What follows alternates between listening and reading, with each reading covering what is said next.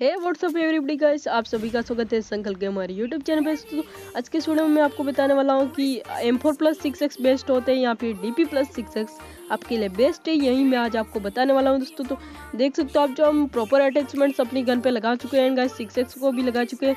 Six X का जो हम थ्री एक्स भी बना चुके हैं यार। उसके बाद जो मैं आपको अब इसे जो करके बताऊँगा, बहुत से लोग इसे सिक्स एक्स पर भी चलाते होंगे डीपी को यार, वो टप टप करके चलाते हैं आप, जो गाइस मैं आपको टोटली स्प्रे में कंपैरिजन दिखाऊँगा। जो अगर आपको ये कंपैरिजन अच्छा लगता है, वीडियो को लाइक कर देना, इस चैनल को कर देना सब्सक्राइब और अपने फ्रेंड्स के साथ ही इस वीडियो को शेयर कर देना, ताकि वो भी M four plus six X का स्प्रे कर पाए और आपकी टीम और भी मज़बूत बने। दोस्तों, चलिए मैं आपको पहले दिखाता हूँ गाइस डीपी का स्प्रे जो अपन लास्ट वाले पे कर रहे हैं। एंड ये है मेरा डीपी का रिकॉयल कंट्रोल देख सकते हो आप डीपी की जो गाइस मैंने रिकॉयल कंट्रोल करके दिखाई आपको. स्टार्टिंग में जब स्प्रे किया गाइस उसी टाइम पे जो उधर गोलियाँ लगी है, बाकी टाइम पे गोलियाँ, एक भी गोली नहीं लगी उसको. उसी जगह पे आप अपन एम फोर का यूज़ करते हैं.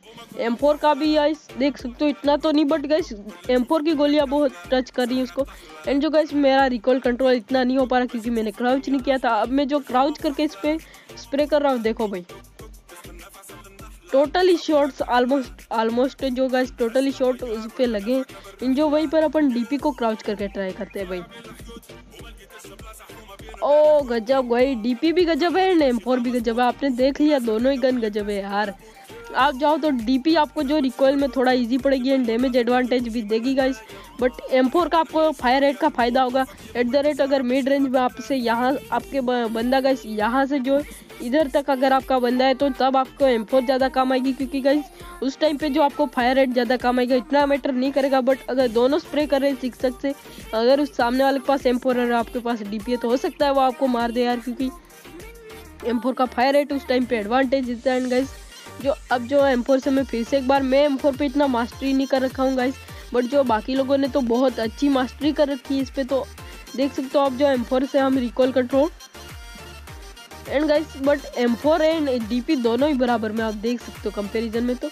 अब अपन डीपी से स्प्रे करते हैं. शॉर्ट तो इतने लग रहे हैं बट डीपी के इतने नहीं लग रहे हैं, और आप नहीं मानोगे बट इसका हॉरिजॉन्टल रिकॉल भी बहुत ज़्यादा बन रहा है। मेरी जो थोड़ी बहुत प्रैक्टिस है, इसलिए इतना अच्छा मैं कर पा रहा हूँ। एनीवे जो डीपी का हॉरिजॉन्टल रिकॉल भी बहुत ज़्यादा बन रहा है स्टार्टिंग के शॉट इसको लगे। डीपी भी बेस्ट है भाई। एम के साथ में डीपी बेस्ट है एंड एम भी बेस्ट है यार। बट बेस्ट कॉम्बो आप D P and M four रख सकते हो, अगर आप चाहो तो गाइस क्योंकि इसमें देख सकते हो, दोनों ही सिक्स में बराबरी पे तो अब टाई हो गया इनके बीच में तो भाई आपकी मर्ज़ी, आपको जो गन रखनी हो वो आप रख सकते हो। बट डैमेज एडवांटेज की तरफ़ जाओगे तो आपको मैंने बता दिया जो एम का क्या एडवांटेज होगा।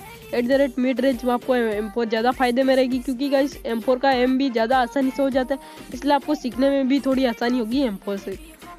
एंड जो बाइजे वाई डी की भी मुझे बहुत अच्छी ट्रेनिंग है एंड मैं एकेम भी यूज़ कर रहा हूँ तो मेरे को जो अच्छा रिकॉल कंट्रोल हो जा रहा है। बाकी डीपी में हॉरिजॉन्टल रिकॉल भी बहुत ज़्यादा है, यानी कि दोनों साइड भी बहुत ज़्यादा ये यूँ यूँ हिलती रहती है तो आपको जो मुश्किल होगी रिकॉल कंट्रोल करने में, इसलिए मैं आपको हाईली रिकमेंड करूँगा एम की तरफ़ जाओ यार।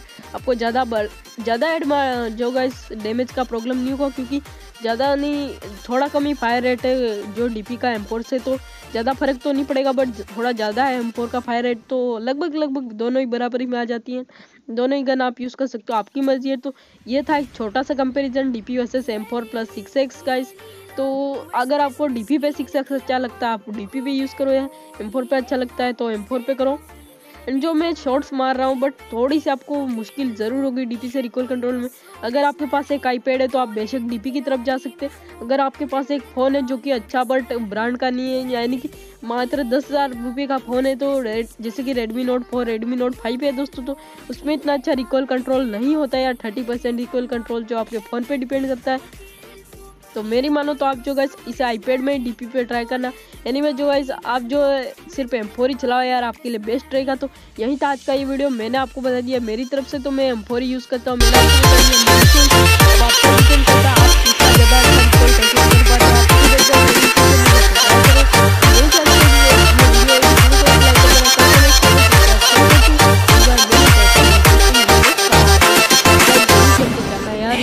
बहुत मेहनत